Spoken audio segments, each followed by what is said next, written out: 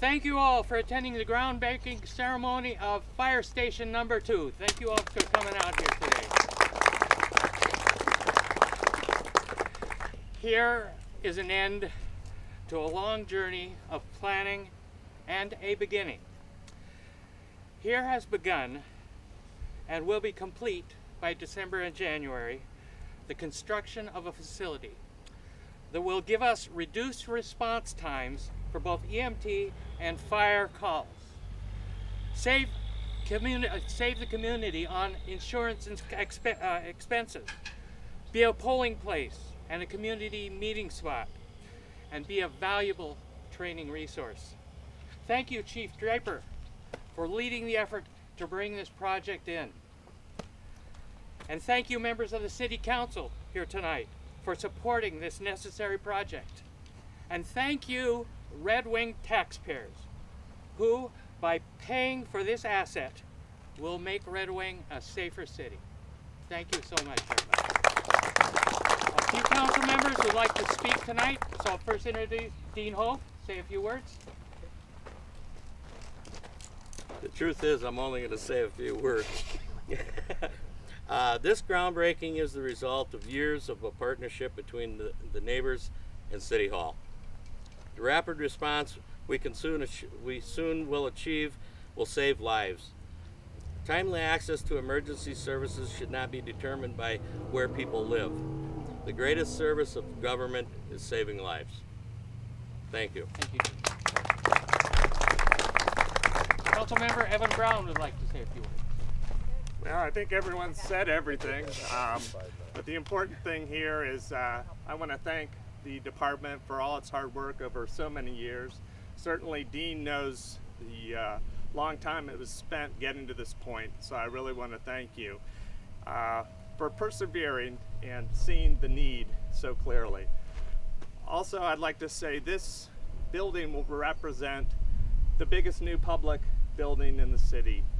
And uh, as we go through our 2040 comprehensive planning process, a big part of that process is considering sustainability. So I always hope that you will think about this building, think about this not just as a fire station, but a kind of a public building, and that this public building needs to kind of uh, mimic or uh, show the leadership we want to take in sustainability moving forward. So thank you to the uh, department and all the hard work you do, and um, I'm glad to see this finally moving forward.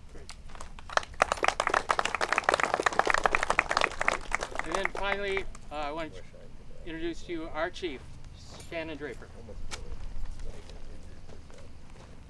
Thank you, Mayor. And thank you for coming out and joining us on this, uh, this great occasion tonight. This is truly a wonderful project that we see coming together here. I do want to thank a few people, um, kind of a repeat of what the council and the mayor has already said. Um, but first, our mayor and our city council, who's with uh, their support and their guidance have helped us bring this project together.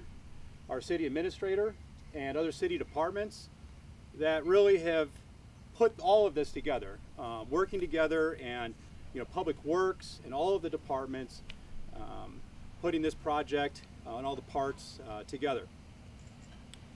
And then finally, Councilman Dean Hove, who has been working on this project and championing it from day one.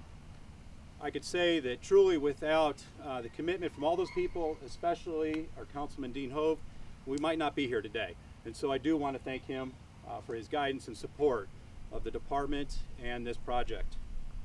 And finally, our community. We are a community focused organization, meaning we are constantly serving and focused on the needs of our community. And it is your support and again the guidance that has helped us um, evolve this project and design this project um, within a budget and the needs that the community needs. And so thank you. Someone the other day asked me, what does it matter 10 minutes? A firefighter arriving on scene 10 minutes sooner. That's not much time. That's true, 10, mo- 10 minutes may not seem like a lot, but it is a lot.